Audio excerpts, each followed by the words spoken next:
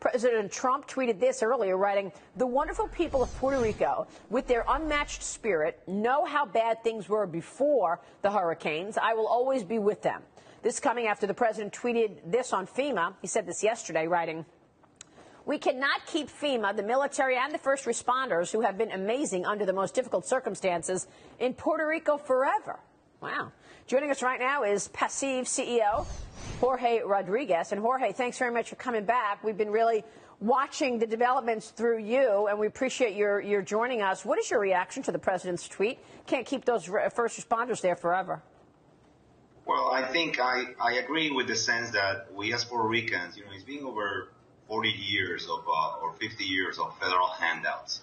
And I've always made the point that we need to raise uh, ourselves, you know, and, and, be able to create value our own selves, uh, not only within Puerto Rico, but, uh, you know, in the world. Just a, a quick fact, uh, our exports are do not exceed 3 4%. Uh, we really don't, we're not connected to the world economy.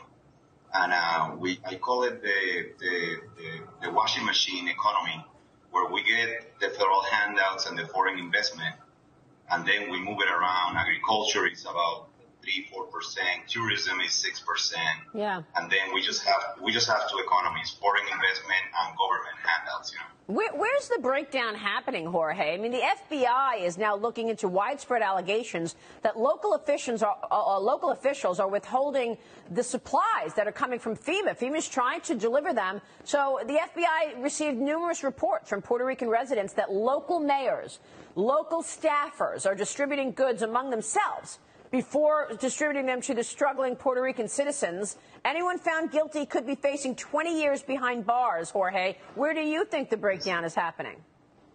Well, this is not new for us. Uh, I mean, I, I know I, lot of, I got a lot of uh, hate mail after my first article, and now I have to say I told you so.